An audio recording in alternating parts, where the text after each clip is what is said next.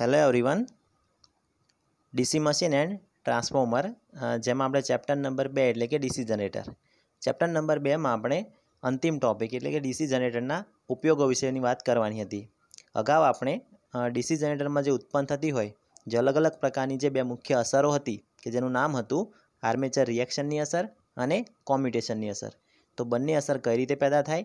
બંને અસરમાં પેદા થવાથી ડીસી જનરેટર ઉપર કયા પ્રકારની અસર થાય? અને બંને પ્રકારની ઇફેક્ટને દૂર કરવા માટેની પદ્ધતિઓ, કે જે ખૂબ જ મોસ્ટ આઈએમપી ક્વેશ્ચન હતો, જેની ચર્ચા આપણે અગાઉના લેક્ચરમાં કરી ચૂક્યા હતા. હવે આજના લેક્ચરમાં આપણે ડીસી જનરેટરના ઉપયોગો વિશેની વાત કરીશું. તો ડીસી જનરેટરના ઉપયોગો વિશેની વાત કરતાં પહેલાં સૌપ્રથમ આપણને એ ખ્યાલ હોવો જોઈએ કે ડીસી જનરેટરના કેટલા પ્રકાર હોય. તો ડીસી જનરેટરના પ્રકારો વિશે જ્યારે આપણે વાત કરી હતી, તો એ સમયે એનું આપણે ક્લાસિફિકેશન કર્યું હતું કે ડીસી જનરેટરના મુખ્યત્વે કુલ ત્રણ પ્રકાર હોય. જેમાંનો પ્રથમ પ્રકાર હતો શન્ટ પ્રકારનું જનરેટર, ત્યાર પછી સિરીઝ પ્રકારનું જનરેટર અને કમ્પાઉન્ડ પ્રકારનું જનરેટર. અને કમ્પાઉન્ડ પ્રકારના જનરેટરમાં બીજા બે પેટા વિભાગ હતા, એટલે કે ક્યુમ્યુલેટિવ કમ્પાઉન્ડ અને ડિફરન્શિયલ કમ્પાઉન્ડ. તો આ જે તમામ જનરેટર હોય, એ તમામ જનરેટર પૈકી કયું જનરેટર કઈ જગ્યાએ વપરાય, એ વસ્તુ જાણવી આપણા માટે ખૂબ જ જરૂરી છે. અને એ વસ્તુ આપણે કઈ રીતે જાણી શકાય? તો એ વસ્તુ આપણે લોડ કેરેક્ટરિસ્ટિક પરથી જાણી શકાય. અગાઉ જ્યારે આપણે ડીસી જનરેટરની કેરેક્ટરિસ્ટિક વિશેની વાત કરી હતી, તો એ સમયે આપણે જોયું હતું કે ડીસી જનરેટરમાં કુલ બે પ્રકારની કેરેક્ટરિસ્ટિક હોય.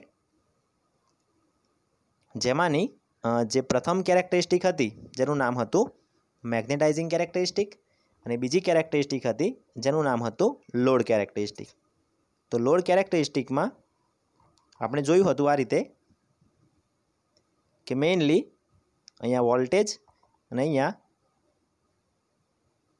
આપણો લોડ કરંટ દર્શાવેલો હોય.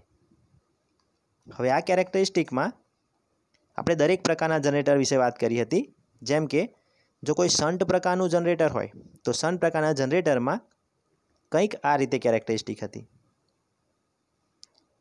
એટલે જ્યારે આપણે લોડ કરંટ વધારતા હોઈએ, તો આપણો જે વોલ્ટેજ હોય એ વોલ્ટેજ થોડા પ્રમાણમાં ઘટતો હતો.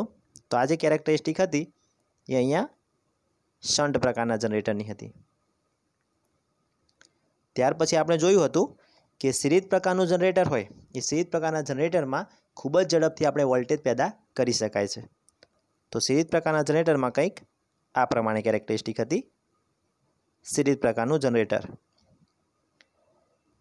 અને કમ્પાઉન્ડ જનરેટરમાં આપણે જોયું હતું કે ક્યુમ્યુલેટિવ અને ડિફરન્શિયલ કમ્પાઉન્ડ તો ક્યુમ્યુલેટિવ કમ્પાઉન્ડમાં શન્ટ અને સિરીઝ વાઇન્ડિંગ એ બંનેની રચના એ રીતે હોય કે બંનેને કારણે જે ફ્લક્સ પેદા થાય એ એક જ દિશામાં થતું હોય. જ્યારે ડિફરન્શિયલમાં શું હોય તો શન્ટ અને સિરીઝ વાઇન્ડિંગ બંનેની ગોઠવણ એ રીતે કરેલી હોય કે બંનેના જે ફ્લક્સ મળતા હોય એ બંનેના ફ્લક્સ એકબીજાની વિરુદ્ધ દિશામાં મળતા હોય. એટલે ક્યુમ્યુલેટિવમાં જે વોલ્ટેજ હોય એ વોલ્ટેજ આપણને વધુ મળશે અને ડિફરન્શિયલમાં જે વોલ્ટેજ મળશે, એ વોલ્ટેજ ખૂબ જ ઝડપથી ઘટી જશે. તો અહીંયા જોઈએ કે સૌપ્રથમ તો જે ક્યુમ્યુલેટિવ હોય, એ ક્યુમ્યુલેટિવ કમ્પાઉન્ડમાં વોલ્ટેજ આપણને થોડો વધુ મળતો હોય. ક્યુમ્યુલેટિવ કમ્પાઉન્ડ પ્રકારનું જનરેટર અને જે ડિફરન્શિયલ પ્રકારનું જનરેટર હોય, એ ડિફરન્શિયલ પ્રકારના જનરેટરમાં જે વોલ્ટેજ હોય, એ આ રીતે ખૂબ જ ઝડપથી અહીંયા ઘટતો હોય. ડિફરન્શિયલ પ્રકારનું કમ્પાઉન્ડ જનરેટર. તો સૌ પ્રથમ તો આજે દરેક કેરેક્ટરિસ્ટિક હોય એ આપણને ખ્યાલ હોવો જોઈએ.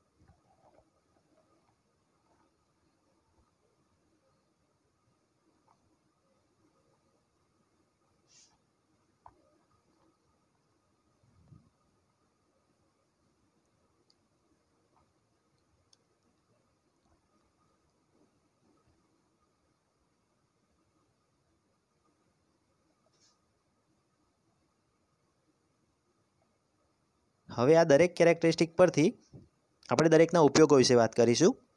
તો પ્રથમ અહીંયા જોઈ શકાય કે આપણને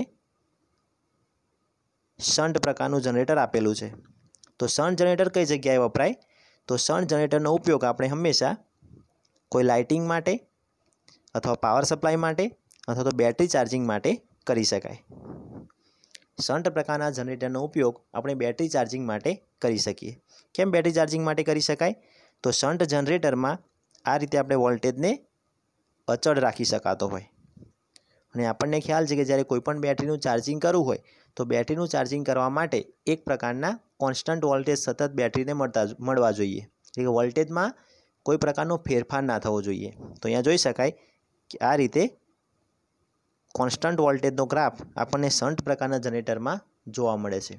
એટલે શન્ટ પ્રકારનું જનરેટર બેટરી ચાર્જિંગ માટે વાપરવામાં ખૂબ જ ઉપયોગી છે. ત્યાર પછી બીજો જે પ્રકાર છે, સિરીઝ પ્રકારનું જનરેટર. તો સિરીઝ પ્રકારના જનરેટરમાં જોઈ શકાય અહીંયા કે લાઇટિંગ માટે ના વાપરી શકાય. કેમ કે વોલ્ટેજ ખૂબ જ ઝડપથી વધી જાય છે. અહીંયા આપણે જોઈએ છીએ કે જે સિરીઝ પ્રકારનું જનરેટર છે અહીંયા, એ સિરીઝ પ્રકારના જનરેટરમાં આ રીતે જે વોલ્ટેજ હોય એ વોલ્ટેજમાં ખૂબ જ ઝડપથી વધારો થતો હોય. એટલે જો આપણે લાઇટિંગ માટે વાપરીશું, તો લાઇટિંગમાં શોર્ટ સર્કિટ થઈ જાય. એટલે કઈ જગ્યાએ વપરાય? તો રેલવેમાં બુસ્ટર તરીકે વપરાય. આપણી જે રેલવે હોય, એ રેલવે લાઇનમાં બુસ્ટર તરીકે. બુસ્ટરનું કામ શું હોય? તો વોલ્ટેજને ખૂબ જ ઝડપથી વધારી દે. અને વોલ્ટેજ ખૂબ ઝડપથી વધે, એટલે જે ટ્રેન હોય, એ ટ્રેનને ખૂબ જ ઓછા સમયગાળામાં પોતાની સ્પીડ પકડી શકે. એટલે ટ્રેનમાં જે બુસ્ટર આવેલા હોય, એ બુસ્ટરમાં સિરીઝ પ્રકારના જનરેટરનો ઉપયોગ કરવામાં આવતો હોય. કેમ કે બુસ્ટરમાં વોલ્ટેજની જરૂરિયાત ખૂબ જ વધુ હોય. ખૂબ જ ઓછા સમયમાં મેક્સિમમ વોલ્ટેજ મેળવવાના હોય. અને ઓછા સમયમાં જ્યારે મેક્સિમમ વોલ્ટેજ મેળવવા હોય, તો એ સિરીઝ જનરેટરની મદદથી મેળવી શકાતા હોય. તો એ સિરીઝ જનરેટર રેલવેમાં બુસ્ટરમાં વાપરવામાં આવતું હોય છે.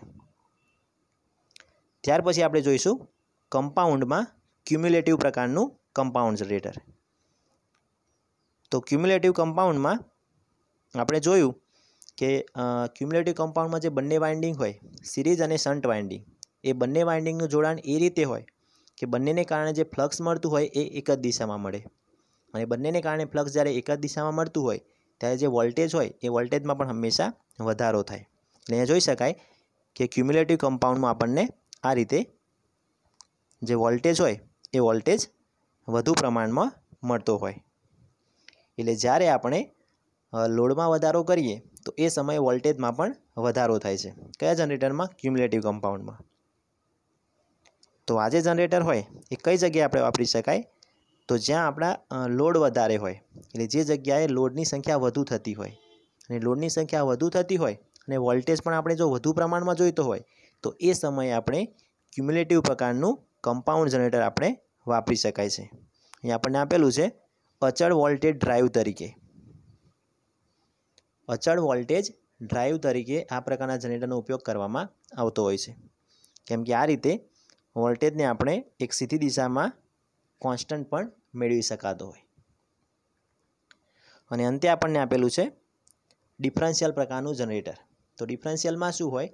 તો બંને જે વાઇન્ડિંગ હોય, શન્ટ અને સિરીઝ વાઇન્ડિંગ, એ બંને વાઇન્ડિંગની ગોઠવણ કંઈક એ રીતે હોય? કે બંનેને કારણે જે ફ્લક્સ મળતું હોય, એ ફ્લક્સ એકબીજાની વિરુદ્ધ દિશામાં હોય. ફ્લક્સ જ્યારે વિરુદ્ધ દિશામાં હોય બંને વાઇન્ડિંગનું તો એ સમયે કુલ ફ્લક્સમાં ઘટાડો થાય. અને કુલ ફ્લક્સમાં ઘટાડો થાય એટલે જે આઉટપુટ વોલ્ટેજ હોય એ વોલ્ટેજમાં પણ ઝડપથી ઘટાડો થાય. એટલે અહીંયા જોવા મળે કે વોલ્ટેજ ડિફરન્શિયલ કમ્પાઉન્ડમાં આ રીતે ખૂબ જ ઝડપથી ઘટી જતા હોય. આ રીતે વોલ્ટેજ ખૂબ જ ઝડપથી ઘટી જતા હોય. કયા જનરેટરમાં? ડિફરન્શિયલ કમ્પાઉન્ડ પ્રકારના જનરેટરમાં. તો આ જે જનરેટર હોય એ જનરેટર વેલ્ડિંગ માટે વાપરવામાં આવતું હોય છે. કેમ કે વેલ્ડિંગમાં એ પ્રકારના વોલ્ટેજની જરૂરિયાત હોય કે વેલ્ડિંગમાં જ્યારે તમે કરંટ વધારો ત્યારે વોલ્ટેજ ખૂબ જ ઝડપથી ઘટવા જોઈએ. કેમ કે વેલ્ડિંગમાં કરંટની વધારે જરૂરિયાત હોય, વોલ્ટેજની ઓછી જરૂરિયાત હોય. એટલે વેલ્ડિંગ કરવા માટે ડિફરન્શિયલ પ્રકારના જનરેટરનો ઉપયોગ કરવામાં આવતો હોય છે.